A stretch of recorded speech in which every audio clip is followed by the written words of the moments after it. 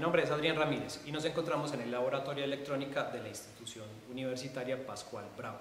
El día de hoy miraremos la utilización de la herramienta ponchadora para RJ45, muy utilizado en las redes de datos para la conexión de equipos como router, switches a computadoras. Para realizar este procedimiento utilizaremos los siguientes elementos. Cable UTP categoría 5E, unas pinzas de corte, conectores RJ45 y la ponchadora para conectores RJ45. Recordemos que para este procedimiento podemos utilizar dos normas técnicas existentes, la 568A o la 568B. Para este caso utilizaremos la norma 568A. Procedemos a pelar el cable UTP más o menos de 4 a 5 centímetros de largo, quitando la chaqueta exterior. Luego separamos los pares de cobre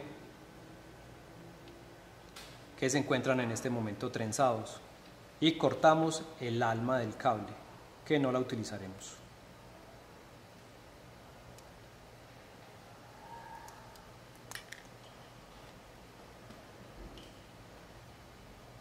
Retiramos este hilo y procedemos a retirar el entorchado de cada uno de los pares.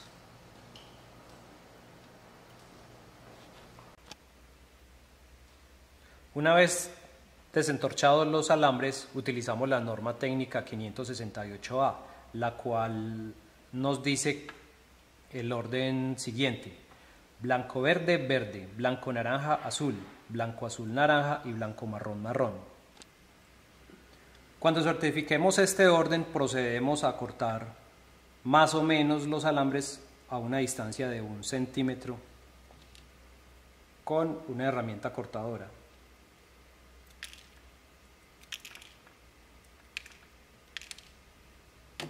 Verificamos que tengan que los alambres estén en línea y procedemos a la instalación del conector RJ45, certificando que todos los alambres ingresen hasta el fondo del conector.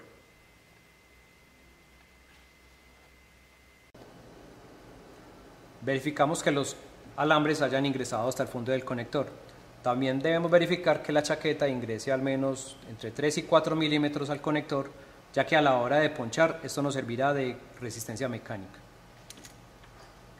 Ingresamos el conector a la herramienta en, la ubicación para el conector RJ45.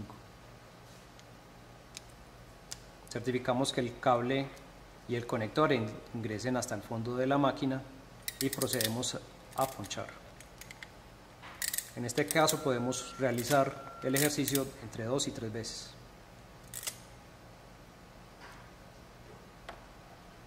Como podemos observar, el conector quedó bien sujeto al cable. Como pudimos observar, el correcto uso de esta herramienta nos garantiza el poder construir cables que cumplan con estándares para una correcta comunicación entre los equipos de una red. Gracias.